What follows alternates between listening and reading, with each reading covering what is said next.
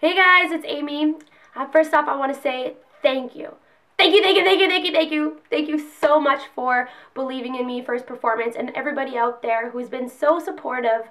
Um, it really is a dream come true. Is that super lame to say? Actually, somebody tagged me on an Instagram post and said, Ami, you should totally try out for this. You know, this is totally up your alley. And, um, you know, when I saw that they were looking for not just an athlete, but somebody who is an inspiration and is a you know motivator and someone who strives to be a role model. It was like ding ding ding, I just won the jackpot finally a platform where I can, you know, show people what I work for every day and what I strive to be and, you know, what I think the world is kind of coming towards. And uh, I just, I was, I'm like, yes, yes, let's do this. And, you know, I just dove in head first.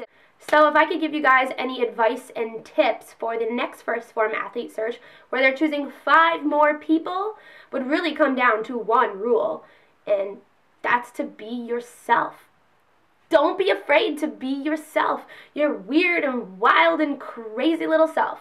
You know, they're looking for individuals. People who don't conform to society standards of what's cool and how you gotta look and how you gotta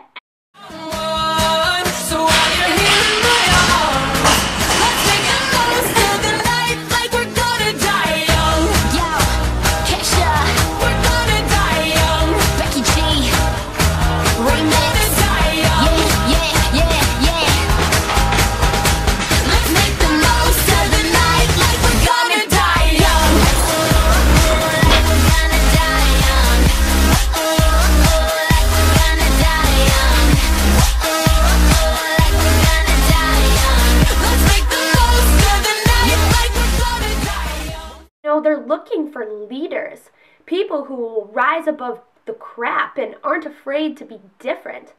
And ultimately, that's what defines a champion. Someone who pushes harder and goes bigger and digs deeper and really thinks outside of that box that everybody else seems to be living in. I mean, you don't get anywhere by being ordinary. You need to stand out. And you need to stand up for yourself and others and what you believe in. And that won't only help you win this competition, it'll help you win at life. It doesn't matter where you come from or the cards you're dealt with in life, you have the power to accomplish anything. Believe in yourself, and you will. What doesn't kill you makes you stronger. Stand a